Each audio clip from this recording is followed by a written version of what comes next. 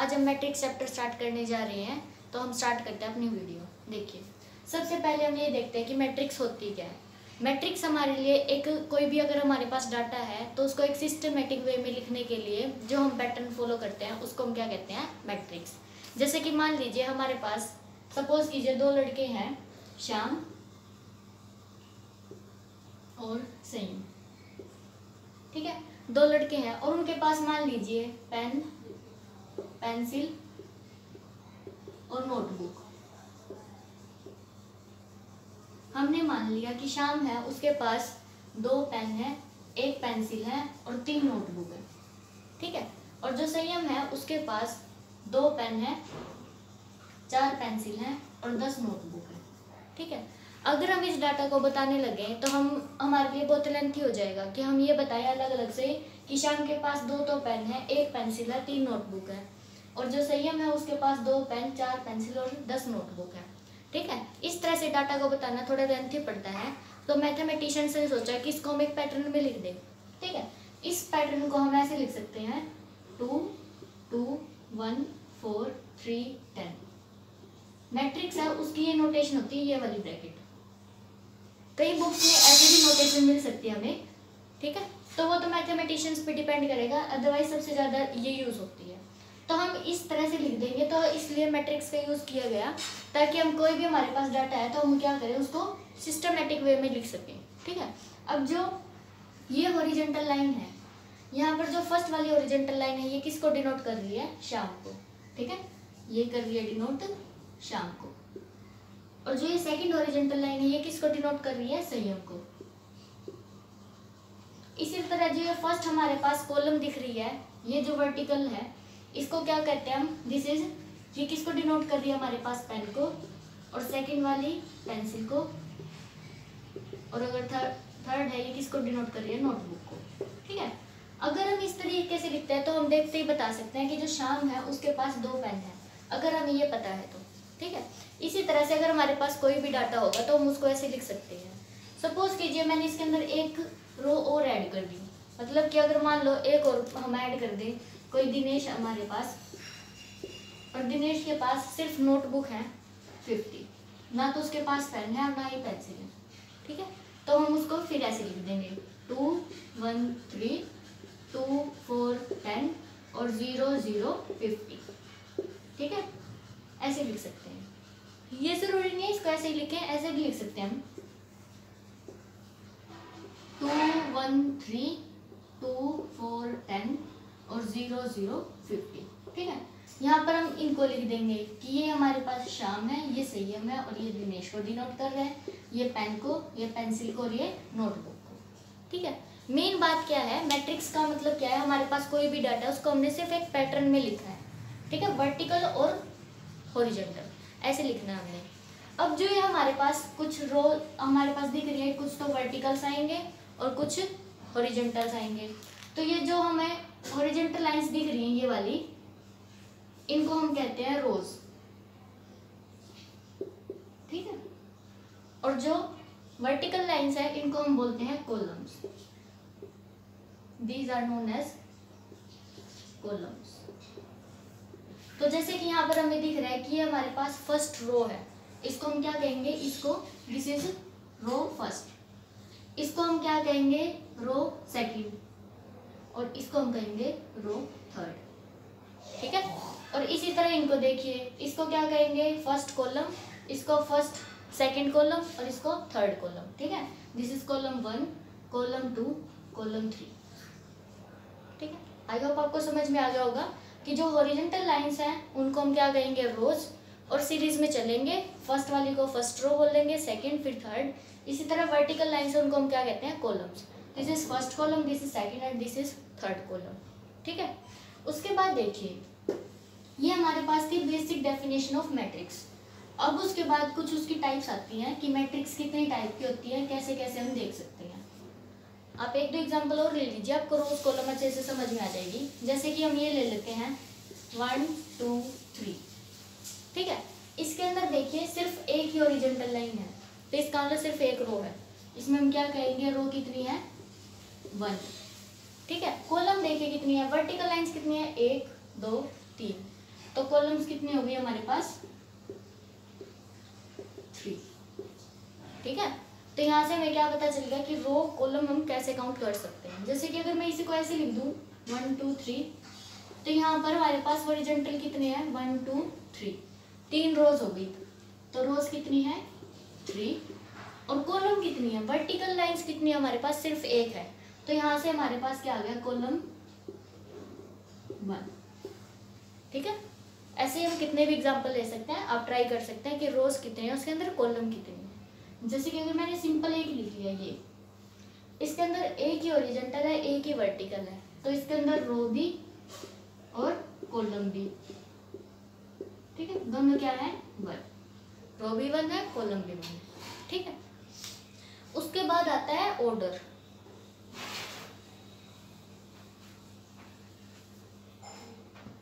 Order order का मतलब क्या होता है? वैसे ऑर्डर का मेन काम ये होता है कि वो हमें ये बताए कि उसके अंदर कितनी रोज हैं और कितनी कॉलम्स हैं। ठीक है? हमारे पास कोई भी मैट्रिक्स होगी, जैसे कि ये लीजिए one two three four five six ठीक? अब ऑर्डर है, उसको हम ऐसे लिखते हैं एम क्रॉस एन मल्टीप्लाई का सिंबल होता है वैसे ये, लेकिन हमें मल्टीप्लाई कभी करनी नहीं होती। क्योंकि जो एम है वो किसको डिनोट करता है? रो को। और जो एन है वो किसको डिनोट करता है? कॉलम को। ठीक है? और हमेशा जो भी मैट्रिक्स होगी, उसका ऑर्डर हम यहाँ पे लिखते हैं उसके नीचे। अभी जैसे कि ये मैट्रिक्स लिखी हमने, इसके अंदर कितनी रोज हैं? दो। एक ये रो है और एक ये रो है। ठीक है? दो रोज होगी तो हमें कैसे लिखना देखो एम क्रॉस एन पहले नंबर पे क्या आएगा? रोज कितनी है? कितनी रोज है इसके अंदर? टू तो पहले हम लिख देंगे टू फिर बीच में क्रॉस आएगा। फिर हमें देखनी है कॉलम्स कितनी है। कॉलम्स कितनी है? वन टू थ्री तो यहाँ पर हम लिख देंगे थ्री ठीक है? मल्टीप्लाई नहीं करनी। सिर्फ़ मल्टीप्लाई करने से हमें ये पता चलेगा कि उसके अंदर एलिमेंट्स कितने हैं। जैसे टू मल्टीप्लाई थ्री करेंगे तो सिक्स इसके अंदर टोटल सिक्स एलिमेंट्स हैं। One two three four five six ठीक है? मल्टीप्लाई हमें कभी नहीं करनी। ये सिर्फ़ हमें ये बताएगा कि इसके अंदर दो तो रो हैं और तीन कॉलम है। ठीक है? General notation M cross N होगी। ठीक है? जैसे कि हम और एग्जांपल भी ले सकते हैं। यहाँ पर आप वन टू थ्री फोर ऐसे लिख दिया हमने। तो इसके अंदर एक ही रो है। ठीक है? तो एक रो हो गई। कॉलम कितनी है? वन टू थ्री फोर तो फोर कॉलम इसको हम वर्टिकल में लिखेंगे तो ऐसे हो जाएगा वन टू थ्री फोर ठीक है? तो इसका, देखिए इसके अंदर रोज कितनी होगी? One two three four four rows हैं इसके अंदर। और कॉलम कितनी है? एक ही है। तो कॉलम वन होगी ठीक है? ऐसे हम ऑर्डर लिख सकते हैं। अभी मैंने वो सिंगल वन लिखा था। इसको कैसे लिखेंगे इसके अंदर? एक ही रो है, एक ही कॉलम है। ठीक है? तो वन क्रॉस वन ऐसे बन जाएगा। ठीक है? तो ऐसे हम ऑर्डर लिख सकते हैं यहाँ पर, किसी का भी। उसके बाद, अब आएँगे हमारे पास टाइप्स ऑफ़ मैट्रिक्स सबसे पहले देखते हैं रो मैट्रिक्स और कॉलम मैट्रिक्स कौन सी होती है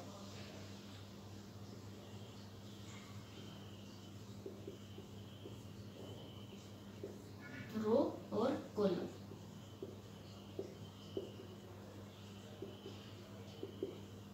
देखिए। रो मैट्रिक्स कौन से होते हैं? नाम से ही पता चल रहा है। जिसमें हमें सिर्फ़ रो दिखे। मतलब कि जिसके अंदर रो क्या हो? वन हो। कॉलम कितनी भी हो, कोई मतलब नहीं है। सिर्फ़ रो एक ही होनी चाहिए। ठीक है? जैसे कि हम यहाँ पर ऐसे लिख सकते हैं वन टू थ्री फोर एक चीज़ और ध्यान रखिएगा। जब भी हम मैट्रिक्स लिखेंगे तो बीच में आपने कुछ कोमा डॉट कुछ नहीं लगाना। ऐसे कुछ नहीं लिखना। सिर्फ़ इनको, बस एक बीच में गैप देके ऐसे लिखना आपने। ठीक है? अभी ये जो हमने मैट्रिक्स ली है, इसके अंदर क्या है? एक ही रो है। वन रो कॉलम कितनी है? फोर तो ये मैट्रिक्स कैसी होगी हमारे पास? रो मैट्रिक्स हमें सिर्फ़ किस पे फोकस करना है? रो पे. रो कितनी होनी चाहिए? वन कॉलम कितनी भी हो. कॉलम वन हो दो हो, तीन हो, कितनी भी हो, कोई मतलब नहीं हमें। ठीक है? अभी जैसे कि यही लिया था हमने वन वन क्रॉस वन की थी इसके अंदर रो तो वन ही है। है ना? तो ये मैट्रिक्स भी हमारे पास कैसी हो गई? रो मैट्रिक्स ठीक है? और भी ले सकते हैं हम। ये ले लीजिए। वन क्रॉस थ्री की है। ठीक है? तो ये भी हमारे पास कैसी हो गई? रो मैट्रिक्स हो गई। हमें सिर्फ़ रो पे बात करनी है। रो वन होनी चाहिए। उसके बाद है कॉलम मैट्रिक्स इसमें जैसे रो वन है, इसमें क्या होनी चाहिए? सिर्फ़ कॉलम वन होनी चाहिए। रो से कोई मतलब नहीं हमें। तो क्या होना चाहिए इसके अंदर? कॉलम मैट्रिक्स कॉलम वन हो। ठीक है? जैसे कि इस टाइप की मिलेगी हमें देखने में। ए बी सी ठीक है? इसके अंदर तीन एलिमेंट्स हैं। इसके अंदर कॉलम एक है रो कितनी है? थ्री तो थ्री क्रॉस वन की हो गई कॉलम कितनी हो गई वन ठीक है? इसी तरह हम यही ले सकते हैं, ये वाली। अगर हमने ऐसे लिख दिया तो इसके अंदर एक ही रो है और एक ही कॉलम है। हमें सिर्फ़ कॉलम चेक करनी है। तो दिस इज़ कॉलम मैट्रिक्स ठीक है? आप ऐसे भी लिख सकते हैं और भी लिख सकते हैं बहुत सारी। One two three four five ठीक है? तो ये हमारे पास कैसे हो जाएगी? इसके अंदर कितनी रो है? फाइव और कॉलम कितनी है? वन तो ये जो मैट्रिक्स है, ये हमारे पास कैसी हो गई? कॉलम मैट्रिक्स यहाँ से एक क्वेश्चन और निकल के आता है। एक ऐसी मैट्रिक्स बताइए जो कॉलम मैट्रिक्स भी और रो मैट्रिक्स भी है। मतलब कि जिसके अंदर रो भी वन है और कॉलम भी वन है तो वो मैट्रिक्स इस टाइप की होगी। ठीक है? एक ऐसी मैट्रिक्स जिसका ऑर्डर वन क्रॉस वन है, उस मैट्रिक्स को हम हमेशा कैसे कहेंगे? वो रो मैट्रिक्स भी है और कॉलम मैट्रिक्स भी है।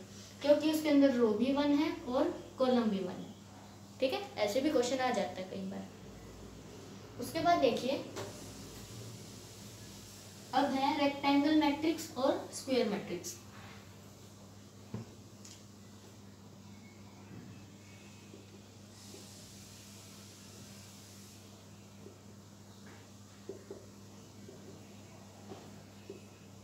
स्क्वायर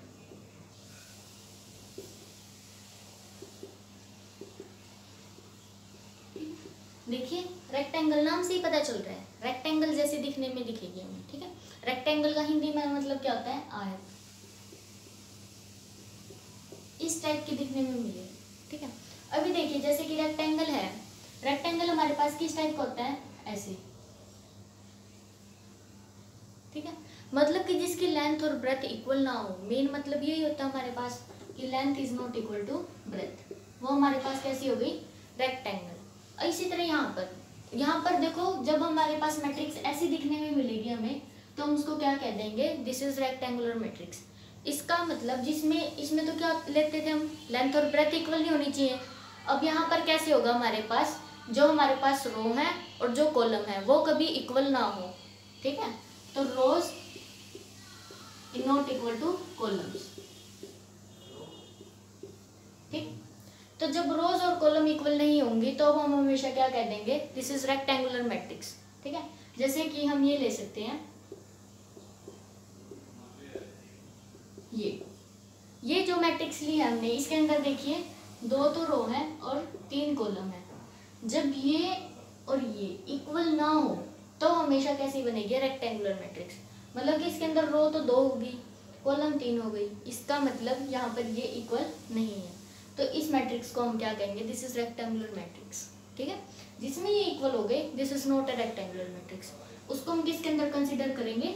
स्क्वायर मैट्रिक्स के अंदर। जिसके अंदर rows is equal to column हो जाएँगे। ठीक है? तो ये ध्यान रखिएगा, जिसमें रोज और कॉलम इक्वल नहीं है दिस इज़ रेक्टेंगुलर मैट्रिक्स और भी ले सकते हैं हम। यहाँ पर ले लीजिए A B C D E ठीक है? इसके अंदर तीन रोज हैं, दो कॉलम्स हैं। तो ये मैट्रिक्स भी हमारे पास कैसी हो गई? रेक्टेंगुलर मैट्रिक्स अभी हमने रोज मैट्रिक्स और कॉलम मैट्रिक्स भी पढ़ी थी। रोज मैट्रिक्स कैसी थी? One two three four five ऐसे, जिसके अंदर एक ही रो हो मतलब वन इंटू फाइव ऐसे थी। इसमें भी देखिए वन और फाइव इक्वल नहीं है। इसका मतलब रोज तो कितनी है? वन कॉलम्स कितनी है? फाइव तो ये भी कैसी होगी? रेक्टेंगुलर मैट्रिक्स कॉलम मैट्रिक्स भी ऐसे ही। वन टू थ्री फोर ठीक है? ये कैसे बन जाएगी? फोर क्रॉस वन तो यहाँ पर हमारे पास क्या हो जाएगा? जो रोज है वो तो फोर है और जो कॉलम्स है वो वन है। इसका मतलब फोर और वन इक्वल नहीं है। तो यहाँ से ये मैट्रिक्स भी कैसी होगी हमारे पास? रेक्टेंगुलर मैट्रिक्स कई बार क्वेश्चन ये आ जाता है कि क्या हर एक रो और कॉलम मैट्रिक्स रेक्टेंगुलर मैट्रिक्स होगी? क्वेश्चन लिख देती हूँ मैं। इज़ एवरी रो और column matrix is rectangular. Rectangular.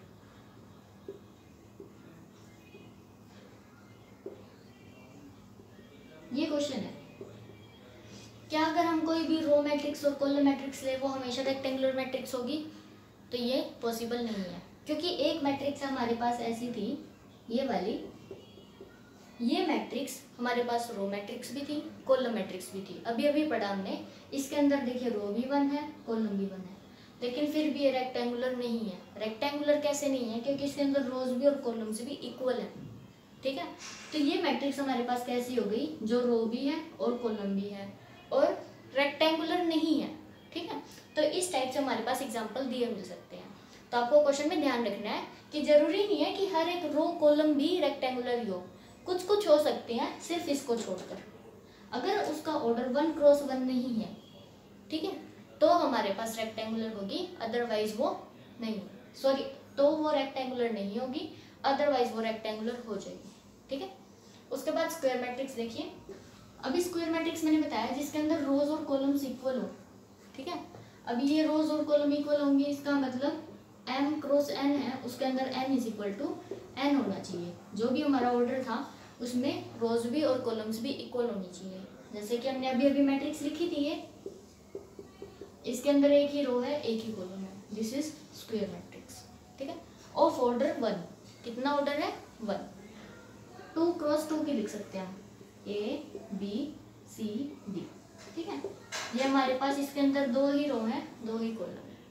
Three cross three की भी लिख सकते हैं हम।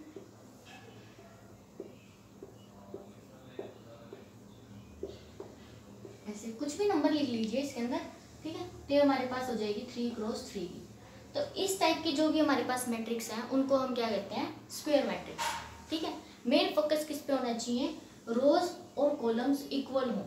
ठीक है? ये होना चाहिए। तो यहाँ पर देखिए, जो रो मैट्रिक्स थी और कॉलम मैट्रिक्स थी, अगर उनमें वन और वन दोनों चीज़ वन हो जाए रो भी वन हो जाए कॉलम भी वन हो जाए तो ही वो क्या बनेगी? स्क्वायर मैट्रिक्स अगर रोज और कॉलम्स में दोनों वैल्यू वन नहीं है तो वो कभी भी स्क्वायर नहीं बन सकती। ठीक है? अभी जो मैंने क्वेश्चन लिखा था, उसमें हमने पीछे रेक्टेंगुलर लिखा था। अगर रेक्टेंगुलर की जगह मैं स्क्वायर लिख दूँ तो वहाँ पर हर एक जो रो और मैट रो और कॉलम मैट्रिक्स है, वो हर बार तो स्क्वायर मैट्रिक्स नहीं बनेगी, क्योंकि सिर्फ़ ये टाइप की बनेगी। इसके अलावा अगर हमने ये वाली या ये वाली ले ली तो वो कभी भी स्क्वायर मैट्रिक्स नहीं बनेगी। ठीक है? तो हम हर एक पे बात नहीं कर सकते। आपको ये ध्यान रखना है कि वहाँ पर एवरी लिखा हुआ है या वन लिखा हुआ है। ठीक है? क्वेश्चन में ये ध्यान देने की बात होती है। अगर एवरी लिख दिया तो नो आंसर आएगा। क्योंकि हर एक तो नहीं हो रही। सिर्फ़ ये वाली तो रेक्टेंगल बनेगी और ये वाली स्क्वायर बनेगी। ठीक है? तो एवरी लिख दिया तो ना तो रेक्टेंगल आएगा, ना ही स्क्वायर आएगा। अगर उसने वन लिख दिया, ठीक है? एट लीस्ट वन लिख सकता है या वन लिख सकता है। तो हो जाएगा। क्योंकि वन तो हमें स्क्वायर में भी मिल रही है और वन हमें रेक्टेंगल में भी मिल रही है। कि देखो, ये वाली हमने रो मैट्रिक्स ली, ये हमारी रेक्टेंगल में चली गई तो एक तो मिल ही गई, ठीक है? इसी तरह यहाँ पर देखिए, ये वाली हमारी रो मैट्रिक्स है, इसका मतलब एक रो मैट्रिक्स तो ऐसे मिल गई, जो किसमें है? स्क्वायर मैट्रिक्स में। इसी तरह कॉलम में। कॉलम में भी एक मैट्रिक्स तो हमें ऐसी ज़रूर मिलेगी, जो क्या होगी? रेक्टेंगुलर मैट्रिक्स और इसी तरह देखिए, ये वाली मैट्रिक्स है जो, ये हमारे पास कैसी है? कॉलम मैट्रिक्स है। तो ये भी हमारे पास कैसी हो गई? स्क्वायर मैट्रिक्स तो जब उसने वन लिख दिया तो यस कर देंगे। जब उसने एवरी वन लिख दिया, हर एक मैट्रिक्स तो हम नो लिखेंगे। क्योंकि हर एक नहीं मिलेगी। इसके लिए ये डिस्कार्ट हो जाएगा और इसके लिए ये डिस्कार्ट हो जाएगा। ठीक है? तो ये चीज़ ध्यान देने की होती है क्वेश्चन में, जब हमें देखने को मिलेगा। तो ध्यान से देखना उस क्वेश्चन को। ठीक है? आगे देखिए। अब कुछ और टाइप्स आएँगे। अब हम स्क्वायर मैट्रिक्स पे बात करेंगे ज़्यादातर, क्योंकि मोस्टली क्वेश्चन स्क्वायर मैट्रिक्स पे ही आती हैं। ठीक है? तो देखिए।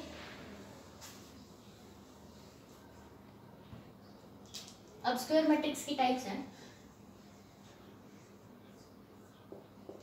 डायगोनल मैट्रिक्स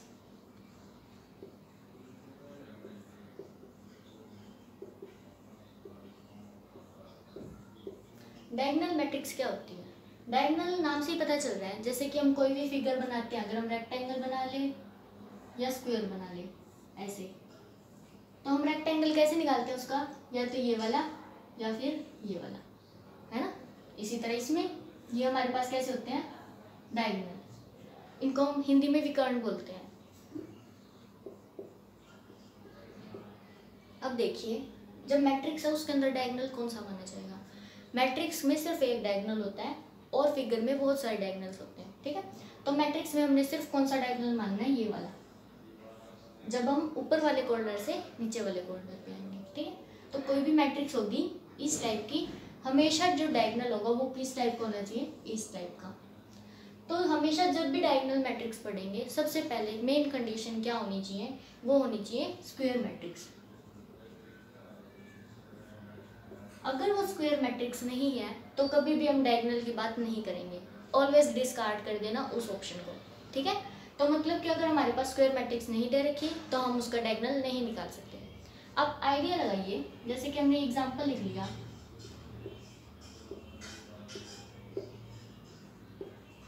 ये मैट्रिक्स है हमारे पास। ये हमारे पास स्क्वायर मैट्रिक्स नहीं है, क्योंकि ये रेक्टेंगल है, क्योंकि इसके अंदर रो और कॉलम इक्वल नहीं है, ठीक है? इधर देखिए अगर मैं यहाँ पर इस कॉर्नर को इस कॉर्नर से मिलाने की कोशिश करूँ तो इसको मैं अगर इससे मिलाऊँ तो ये ऐसे जाएगा। यहाँ पर ना ये वाली चीज़ डिस्कार्ड हो रही है। यहाँ पर कभी भी ऐसे बीच में क्रॉस करके नहीं जाना चाहिए। हमेशा क्या होना चाहिए? दो एलिमेंट्स के बीच में से लाइन ना जाए। एलिमेंट्स में से ही क्रॉस होके जानी चाहिए लाइन ठीक है? वही मैट्रिक्स के लिए डायगनल होता है। जैसे कि अभी स्क्वायर में लेंगे। ए बी सी डी इसमें तो डायगनल दिख रहा है, ये बन जाएगा। ठीक है? ये ए डी वाला, ये वाली लाइन अगर हमने थ्री क्रॉस थ्री में ले लिया।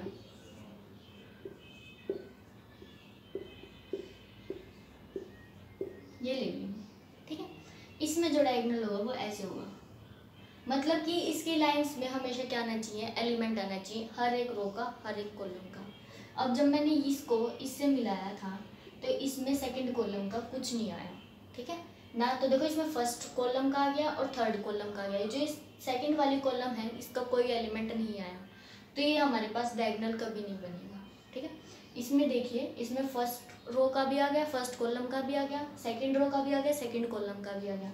इसी तरह इसमें, यहाँ पर फ़र्स्ट कॉलम ये सेकंड कॉलम ये थर्ड कॉलम अगर हम कॉलम वाइज देखें, ठीक है? और इसी तरह रो में, ये। तो हमेशा क्या होते हैं, जो डायगोनल के एलिमेंट्स होते हैं, वो क्या होने चाहिए? हमारे पास कॉलम वाइज ऐसे। हर एक रो का, हर एक कॉलम का एलिमेंट मिलना चाहिए। तो जब भी हम डायगोनल मैट्रिक्स पढ़ेंगे तो सबसे पहले हमें डायगोनल पता होना चाहिए क्या है, और मेन बात क्या होनी चाहिए, वो स्क्वायर मैट्रिक्स होनी चाहिए। रोज और कॉलम इक्वल हो, ठीक है? अब देखिए डायगोनल मैट्रिक्स होती कौन सी है?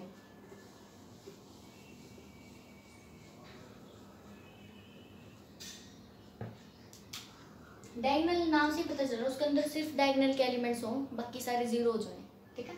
तो डायगनल के एलिमेंट्स कैसे होने चाहिए?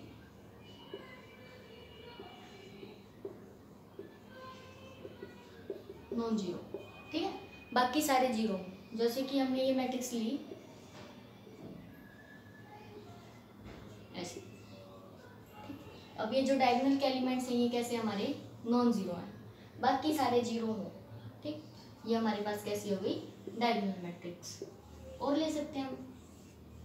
वन टू थ्री ले लिया। ठीक है? ये मैट्रिक्स भी हमारे पास कैसी हो गई? डायगोनल मैट्रिक्स इसमें भी जो डायगोनल के एलिमेंट्स हैं, वो कैसे हैं? नॉन ज़ीरो बाकी सारे ज़ीरो होने चाहिए। ये कंपल्सरी है। ठीक? यहाँ पर अगर आप एक ज़ीरो ले लो तो भी काम चल जाएगा। मेन बात क्या है? सारे ज़ीरो ना हो। कम से कम एक नॉन ज़ीरो बचना चाहिए। ठीक है? मेन कंडीशन क्या है? Not all zero not all zero का मतलब क्या होता है? सभी ज़ीरो ना हो। कम से कम एक नॉन ज़ीरो पक्का होना चाहिए। ठीक है? अगर मैं यहाँ पर भी नॉन ज़ीरो ले लूँ, ये ज़ीरो ले लूँ तो भी ये कैसी हो गई? डायगनल मैट्रिक्स क्योंकि इसके जो डायगनल के एलिमेंट्स हैं, वो सारे ज़ीरो नहीं है। सारे ज़ीरो नहीं होने चाहिए। एक तो नॉन ज़ीरो मिला है ना अपने को तो ये कैसी होगी डायगनल मैट्रिक्स ठीक है? आगे देखिए scalar matrix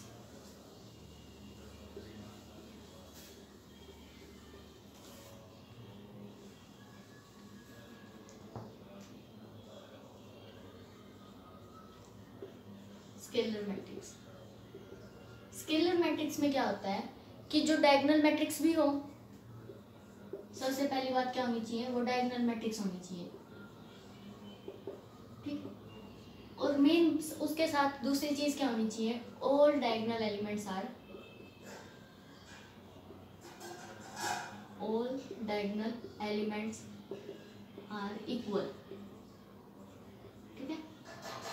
सारे के एलिमेंट्स कैसे होने चाहिए? इक्वल होने चाहिए। जैसे कि हमने ये ले लिया।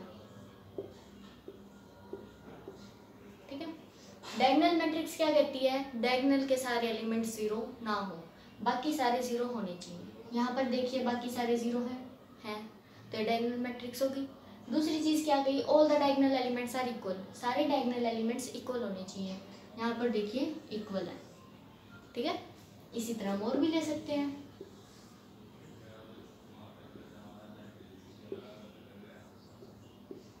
ये ये हमने मैट्रिक्स ली थ्री क्रॉस थ्री की। बाकी सारे एलिमेंट ज़ीरो हैं डायगनल को छोड़कर। डायगनल वाले सारे एलिमेंट्स पे क्या नंबर है? ए ठीक है? कुछ भी हो सकता है सेम होना चाहिए वो। ठीक है? अगर हमने माइनस ले लिया तो भी। तो ये हमारे पास कैसी हो गई? स्केलर मैट्रिक्स ठीक? उसके बाद देखिए आइडेंटिटी मैट्रिक्स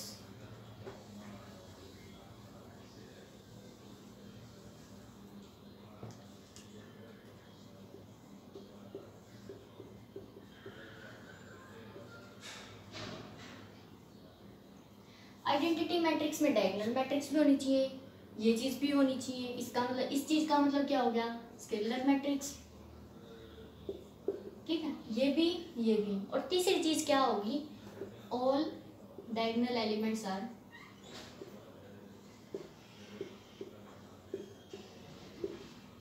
one one ठीक? सारे डायगोनल के एलिमेंट्स वन होने चाहिए। मेन बात क्या है? सिर्फ़ डायगोनल के एलिमेंट सारे वन हो, बाकी सारे ज़ीरो हो। उसको हम क्या कहते हैं? आइडेंटिटी मैट्रिक्स जैसे कि ये।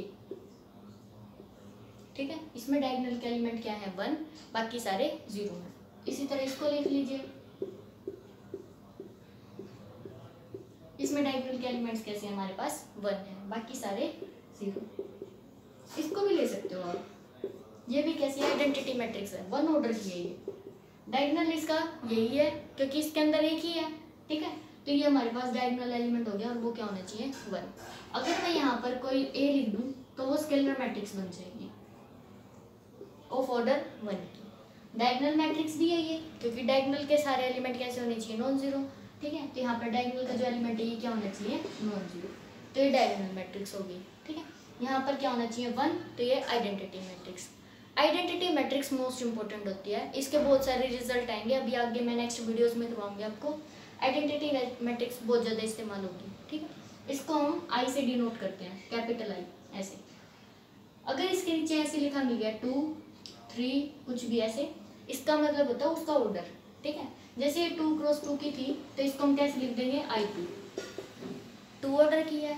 इसको हम कैसे लिख देंगे? I three this is three cross three की मैट्रिक्स ऑफ़ आइडेंटिटी मैट्रिक्स इसको कैसे लिखेंगे हम? आई वन वन ऑर्डर की ठीक है? तो इस टाइप से हमारी बहुत सारी मैट्रिक्स है। आप आज ये कर लीजिएगा। जो आगे ने जो हमारी बच गई मैट्रिक्स वो हम नेक्स्ट वीडियो में करेंगे। ठीक है? इनके जितने भी क्वेश्चन आप सोल्व कर लेना, आप अपनी तरफ़ से प्रैक्टिस करके देख सकते हैं कि कौन सी मैट्रिक्स डायगनल है स्केलर है, क्या है, क्या नहीं। अलग अलग टाइप से आप क्वेश्चन बना के देख सकते हैं। कोई भी डाउट आप मेरे को कमेंट बॉक्स में लिख के बता देना। नेक्स्ट वीडियो हम कल करेंगे।